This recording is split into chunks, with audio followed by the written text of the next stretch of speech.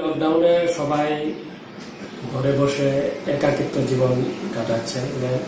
যখন তখন আমি একটা, আমার মাথায় আসে যে কি করে গৃহবন্ধু মানুষকে এটা থেকে একটু মুক্তি দেওয়া যায়।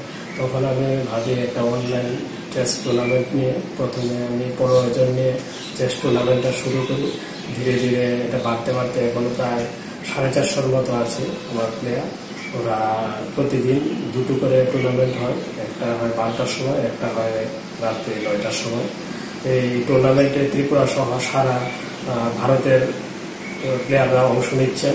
এই টুর্নামেন্টে অংশগ্রহণের জন্য আমি কোনো চার্জ দিই না এবং এই টুর্নামেন্টে অংশগ্রহণ করতে হলে আমার সঙ্গে যোগাযোগ করতে আমি অনুরোধ রাখছি সবাইকে এবং সবার কাছে আমি এটা অনুরোধ রাখছি সবাই যাতে অনলাইন চেস যাতে খেলা করেন এবং সবাই যাতে ঘরে থাকেন এবং আরেকটা রিকোয়েস্ট করছি, সবাই যেন এই আরোগ্য সেতুটা ডাউনলোড করে নেন। আমার গ্রুপে যারা খেলা করছেন, এই গ্রুপের মধ্যে অলরেডি সাড়ে চারশোর মতো তিনশো জনের ডাউনলোড করে নিয়েছেন। আর বাকিদের সঙ্গেও আমি যোগাযোগ করছি যে ওরা যাতে এই অ্যাপসটা যাতে ডাউনলোড করে নেয়।